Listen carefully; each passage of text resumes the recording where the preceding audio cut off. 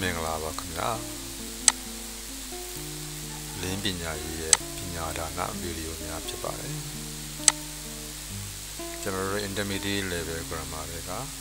phrasal verb များလေးလာနေတာအခုဆိုရင်အပိုင်း6ကိုရောက်ပါပြီပိုင်း6မှာတော့ကျွန်တော်တို့ verb နဲ့တွဲမဲ့ preposition up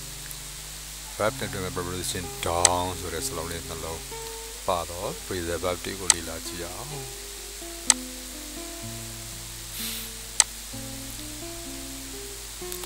ဟုတ်ကဲ့များလေးကတော့ app အကြောင်းပါပဲခင်ဗျာကျွန်တော်သင်္ကန်းသားမှာ app နဲ့ down နဲ့နှိုင်းယှဉ်ပြီးတော့လေ့လာရင်ဘယ်ဘက်မှာကျွန်တော်တို့ app ကိုတော့ဖော်ပြပေးပါမယ်ညာဘက်မှာ down ကိုဖော်ပြပေးပါမယ် put something up တခုခုကိုအပေါ်တင်တာပါ on a wall နယံဘောကိုတင်တာမျိုးပေါ့ I put a picture up on the wall ငါရုပ်ပုံလေးကိုဓာတ်ပုံလေးကိုနယံဘောကိုတင်တယ် pick something up ဇုံတစ်ခုကိုကောက်ယူတယ် There was a letter on the floor ကျမ်းပေါ်မှာစာရဆောင်ရှိတယ် I picked it up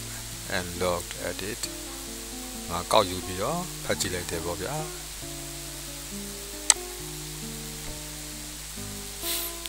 stand up ထပြီးတော့မတ်တက်ရက်တယ်ပေါ့ဗျာ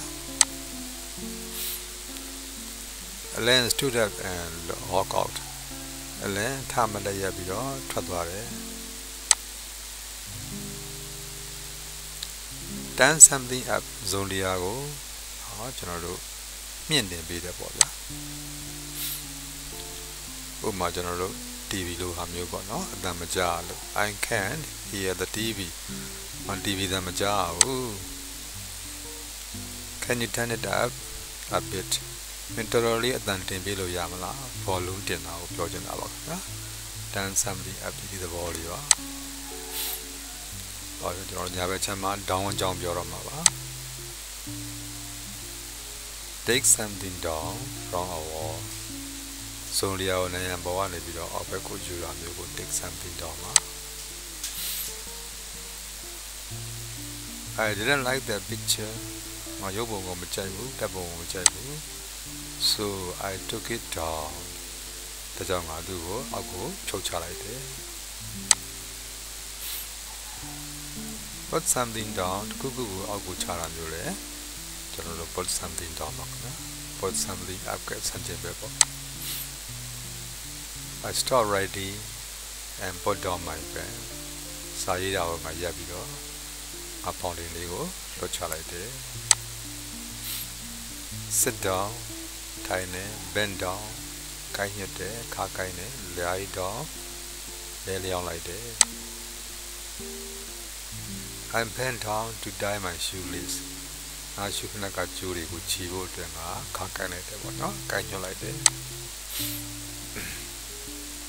turn something down ဇုံတရားကို short ချတာပါခင်ဗျာ turn something up ကစတင်ပဲပါ The oven is too hot ရိုးရီတာပူနေတယ် turn it down to 150 degrees 150 degree ရောက် short ချလိုက်ပါဘူချိန်ကတာပူနေလို့နော်အပူချိန်ကို short ခိုင်းတာပါနော် turn down ပါ အခုကျွန်တော်တို့ knock down နော် cut down ဆိုတာလေးတွေကိုလေ့လာကြည့်အောင်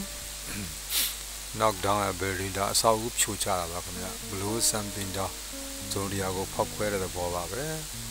cut something down ဇုံတရားကိုဖြတ်တောက်တဲ့သဘောပါပဲ some old houses were knocked down to make a way for the new shopping center ဟောဈေးဝယ်စင်တာအသစ်ကြီးအတွက်သွားမဲ့လမ်းကိုဖောက်လို့ဖို့အတွက်အ ချို့သောအဆောက်အုံတွေကိုဖြိုချပစ်တယ်လို့ပြောတာပါ knock down ပါဆက်ဝါချင်းတော့ပြသွားပါ Why did you cut down the tree in your garden နေဥယျာဉ်ထဲမှာဘာကြောင့်တစ်ပင်တွေကိုခုတ်ပစ်တာလဲလို့ပြောတာပါတစ်ပင်ခုတ်တာ cut down ပါ be knocked down passive voice ပါခင်ဗျာဒါကားထိုးခံရတာကိုပြောတာပါ A man was knocked down by a car and taken to hospital လူတယောက်ကားထိုးခံရပြီးတော့ဆေးရုံတက်သွားတယ်ဆေးရုံခေါ်သွားတယ် burn down ဆိုတာက be destroyed by fire မီးလောင်လို့ပျက်စီးကုန်တာပါအကုန်လောင်သွားတယ်ပေါ့ဗျာပြာကျသွားတယ်ပေါ့ they were able to put out the fire before the house burnt down ဟာအိမ်ပြာကျမသွားခင်မှာသူတို့မီးကိုညှိတက်နိုင်ခဲ့တယ်လို့ဆိုပါတယ် burnt down ပါဗျာဟုတ်ကဲ့ပါကျွန်တော်နောက်ဆန်းလာတစ်ခုကိုကူးကြည့်မယ်ဆိုရင် down ဆိုတဲ့သဘောလေးရပါလေတဲ့ down ဆိုတာ getting less ပါနည်းနည်းလာတယ်ရော့ရော့လာတယ်ဟောသဘောလေးကိုပြောတာပါ slow down ကြည့်ပါခင်ဗျာ go more slowly slow down ဆိုရင်ဒါအချိန်လျှော့တာကိုပြောတာပါ go သွားတယ်ပေါ့ more slowly ပို့ပြီးတော့ဖြည်းဖြည်းလေးချိန်လျှော့ပြီးတော့သွားတယ်ပေါ့ဗျာ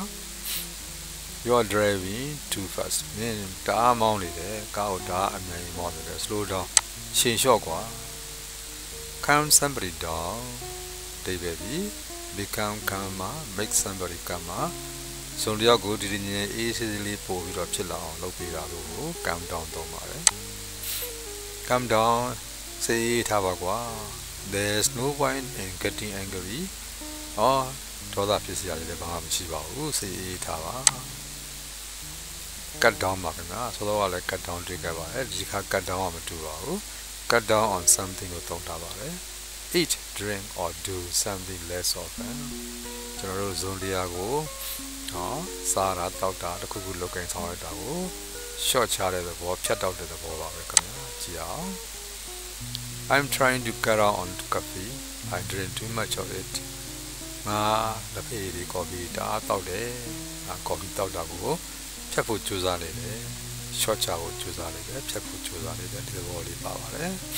နော်စောစောကတွေ့တဲ့ cut down ကတော့သူပြင်ခုတ်လေးတဲ့နေရာမှာတုံးတာပါဟုတ်ကဲ့ကျွန်တော်တို့တခြား verb တွေနဲ့ down နဲ့တွဲတာလေးလည်းဆက်လက်ပြီးတော့ကြည့်ကြပါအောင် break down ရှိပါတယ်ခင်ဗျာ break down က stop working နော်အလုပ်လုပ်တာကိုရပ်သွားစေတဲ့သဘောပါနော် formation set to car car relationship ဆက်ဆံရေးကိုဖြစ်ပါတယ် The car broke down and I had I had to phone for help ကားပြတ်သွားတယ်ကားအင်ဂျင်ရပ်သွားတယ်ပေါ့ဗျာဟောပြီးတော့ငါကူညီတဲ့ဖုန်းဆက်ရတော့တယ် The marriage broke down after only a few months ဒါလေးအနည်းငယ်ပဲရှိသေးတယ်သူတို့လက်ထပ်ချင်းအပြိုကွက်သွားပြီနော်လင်မယားနှစ်ယောက်ကွက်သွားတယ်ပေါ့ဗျာ broke down ဖြစ်သွားတယ် close down လို့ shut down လို့ရှိပါတယ်ဒါ stop doing business ပါနော်ကျွန် တော်လုတ်ကင်ဆောင်ရခြင်းလုပ်ငန်းတွေရပ်သွားတဲ့သဘောကို close down shut down တော့ကြတယ်ခင်ဗျာ There used to be a shop at the end of the street ဟုတ်ကဲ့လမ်းရဲ့ဟိုဘက်ထိပ်မှာတော့ဆိုင်ဆိုင်ရှိလေးရှိတယ် It closed down a few years ago ရဲ့နှစ်နေငယ်မှာတော့လွန်ခဲ့တဲ့နှစ်နေငယ်မှာတော့အဲ့ဆိုင်ပိတ်လိုက်ပြီးလုပ်ငန်းရပ်သွားတယ်ပေါ့ဗျာ Let somebody down ဆိုတဲ့ဒီပဲဟာ disappoint them ဟာသူတို့ကိုစိတ်ပြက်လက်ပြက်ဖြစ်စေတယ် because you didn't do what you what they hoped သူတို့မျှော်လင့်ထားတဲ့အရာကိုခင်ဗျားမလုပ်နိုင်လို့မင်းမလုပ်နိုင်လို့မလုပ်ခဲ့လို့သူတို့ကိုစိတ်ပြက်လက်ပြက်ဖြစ်စေတယ်လို့ဒီပဲဆောင်းပါတယ် let something download or let somebody download တော့ပါတယ်ခင်ဗျာ you can always rely on Paul မင်းအမြဲတမ်း Paul ကို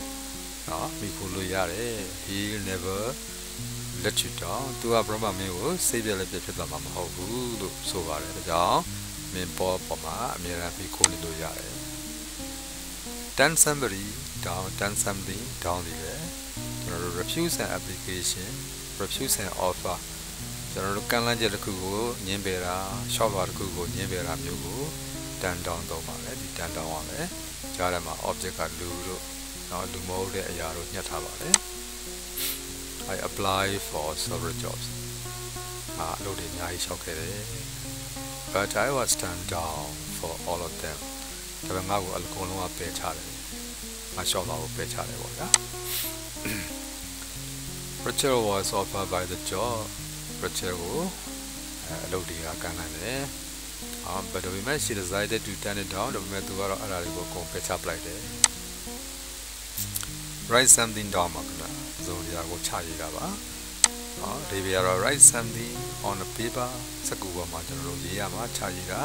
because you may need the information later ကြောင်းတော့ဒီသတင်းအချက်လက်ကိုချရေးမဲ့သတင်းအချက်လက်ကိုနောက်ပိုင်းကြာရင်လည်းလိုကောင်းလိုမှာမလို့တော့တစ်ခုခုပေါ်မှာချပြီးတော့ပြရတာဖြစ်ပါတယ်ဒါကို write something တောင်းတော့ကြပါတယ် I can remember Tim's address Tim ကလိပ်စာကမမှတ်မိတော့ဘူး I wrote it down ငါချတော့ချရေးခဲ့တာပဲ but ဒါပေမဲ့ I can find it ငါအဲ့ဒါလေးရှာမတွေ့တော့ဘူးကွာလို့ဆိုပါတယ်ခင်ဗျာစကူပေါ်မှာလိပ်စာလေးချရေးတာကိုပြောကြတာပါ write something down တော့ပါတယ်ဟုတ်ကဲ့ပါခင်ဗျာကျွန်တော်ဒီမှာရှင်းလင်းချင်တာခဏနားပါမယ်အလုံးအဆင်ပြေမလို့မျှော်လင့်ပါတယ်ကျေးဇူးတင်ပါတယ် bye bye